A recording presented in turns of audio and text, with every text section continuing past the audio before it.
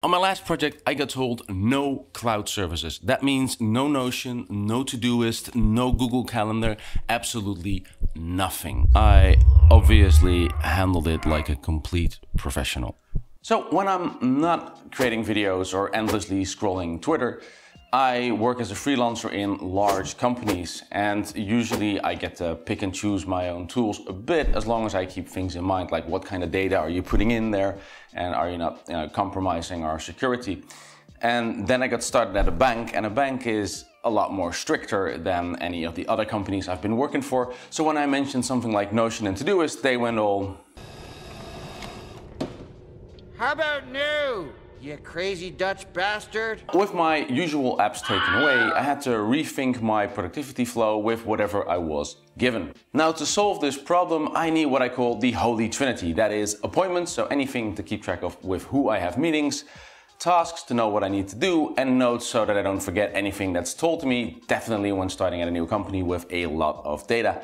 Let's dive in the first one, which is appointments. So let's start with appointments because that one's easy to solve. You need a calendar because when you're working in an office building, you're working with people and you need to know when to meet, who, what, and where, and what the topics are going to be. It's a simple thing, but absolutely essential. Most large companies in the Netherlands use Microsoft Office, but the things I'm going to add also apply to Google Apps and that is you use what the company provides. So I usually get provided Outlook. I don't like Outlook in particular, but the benefits of having a centralized calendar system where you can see other people's meetings, appointments, which meeting rooms are free, is so much better that it will outweigh any productivity gain you would get from using another app. Why task lists? You know, why do you need this small task list? You already have a Kanban board or a Scrum board or a Jira board. And the main reason is, is that there's always these small tasks that don't fit on the board or are there before. A coworker asks you to peer review their code is a small example of that.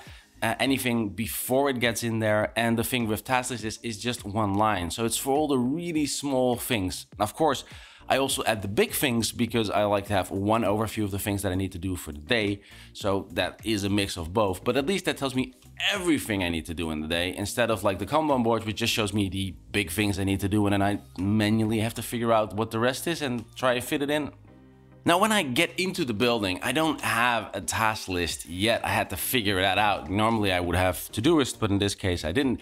So the first thing I did was grab Notepad and just start adding lines into that. It's very basic, but it's always there. I mean, I'm pretty sure iOS has a Notepad equivalent and it allows you to get started. And on top of that list, obviously, is find like a more permanent task list solution. I could use paper, sticky notes, whatever works for you, just something to tide you over until you found like the proper permanent solution you are going to use in said company. Since I was stuck with the Microsoft Suite anyway, I had a look at Microsoft Tasks. I am not going to use the tasks in Outlook. I hate having everything in one place and having my tasks right next to interrupting emails. So that one immediately dropped. OneNote, I don't even want to get started on. I'll probably rant about that when we get to notes. But then we get to Microsoft Tasks and I try to move my Todoist workflow into Microsoft Tasks, which means that I have like things that I want to do that day. Uh, I do labels, I do filters, and Microsoft Tasks didn't really provide that. Um, it's not as robust as Todoist in that regards. But there's a few things that I really liked about it. So for example, I had the today view and it's the reverse. Like with Todoist, I plan ahead. Like I put everything in like tomorrow and the day after and then things pop up. And with Microsoft To Do, your day always starts empty. It's, it's always empty. Like you have to fill it at the day itself. So you have to go through your other lists and then drag. And this is what I'm going to do today. And that was a weirdly positive vibe that I wouldn't have thought of before I got started on that app because instead of going like I can't do this and I can't do that and then cleaning out my list at the beginning of the day, it's the other way around. It's like I can do this and I can do that and it gives much more positive vibe. Actually, it was so positive that I started using that one in Todoist as well, where now instead of moving tasks from uh, overdue to today, I started moving them to no date and then pick like whatever project I'm at. So am I doing work? Am I at home? Am I doing stuff for YouTube? And then from that task list, just pick the things that I'm gonna do that day. And it was surprising how little tasks actually need a due date and I could just move them around. Another thing that I didn't realize I needed, but I love having now is that it shows me everything that I've done for that day. So with Todoist, they just immediately disappear and I have to go to the karma and clear tasks to see them. But with Microsoft tasks, they were like front and center, like they were checked off. You see the dash through it.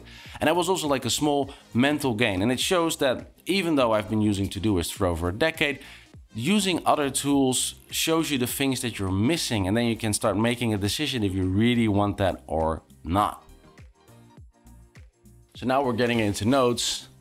And that means, you know, the gloves come off because note taking is one of my favorite things. And you need notes, obviously, because when you get to a new company, you get blasted with information.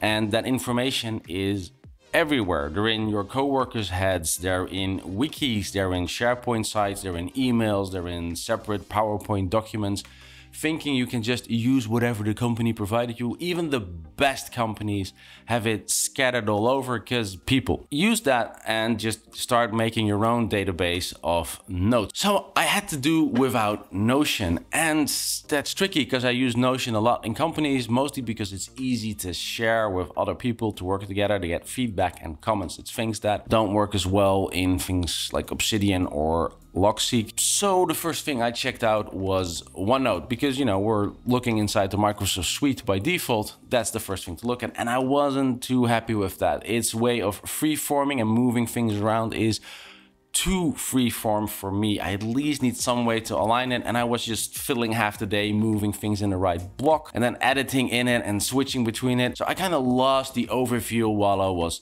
working on this and I needed a better solution. Luckily, there was a tool in my toolbox that wasn't cloud-based and that one was Obsidian because Obsidian you install and all the files stay local. So as long as my Obsidian didn't sync to the cloud and it would just use local markdown files, I would fully embrace being like secure because the notes stayed on my laptop stayed encrypted and didn't leave the building or went to any internet provider. I started using Obsidian and that helped a lot. I mean, I love linking my notes and making things together. I added plugins to add journaling to it because of course I have like daily steps that I have to go through at the company and I have meetings that I want to log details in. Everything was peachy. The only thing that I was hitting was sharing stuff with coworkers because I can't share it in an edit mode where people can comment and then provide feedback or make changes.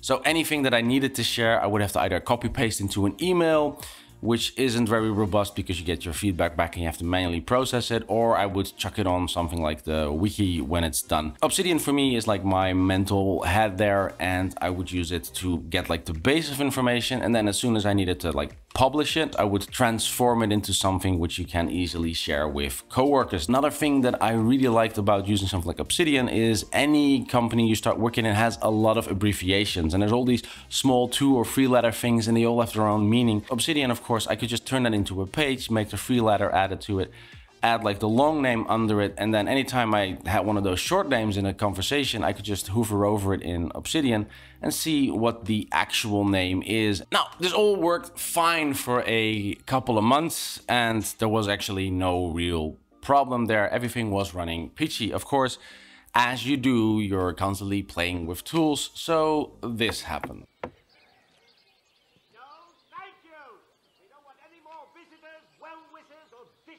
Relations.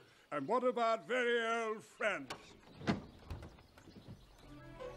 Now, I'm not going to go in depth because this video would get too long and it's a topic on its own. After six months of using Obsidian, I switched to Logseq, mostly because I tried it again and it became a lot better. Now, I could go on, but that's a story for another time.